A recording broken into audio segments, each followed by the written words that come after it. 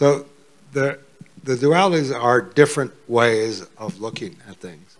The interesting thing about the dualities that are being explored now in string theory is that they relate perhaps the, the two most fundamental concepts we have in physics in ways that nobody ever dreamed of.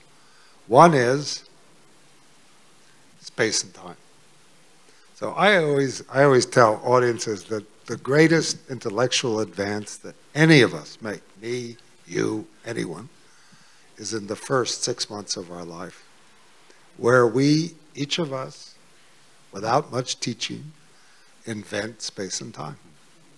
Space and time, you realize, are not something you directly sense. You've never seen space or felt time. It's a mental construct.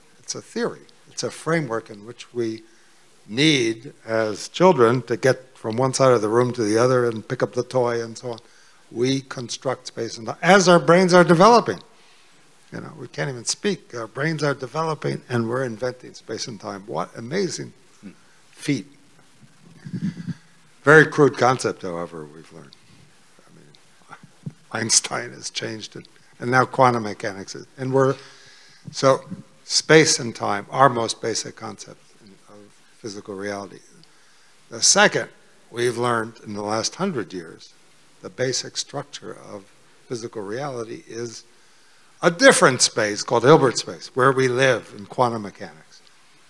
And we're just, as physicists, I be truly believe, learning quantum mechanics.